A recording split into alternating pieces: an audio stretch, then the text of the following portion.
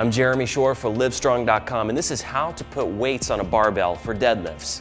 When loading plates on a barbell to perform deadlifts, use a squat rack that allows you to position the bar just off the ground. If you don't have access to a squat rack like this, here are some simple ways to load your plates safely.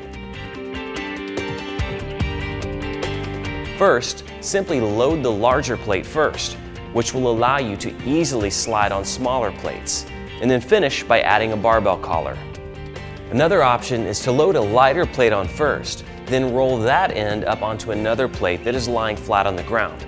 This will elevate the bar just enough to slide on larger plates.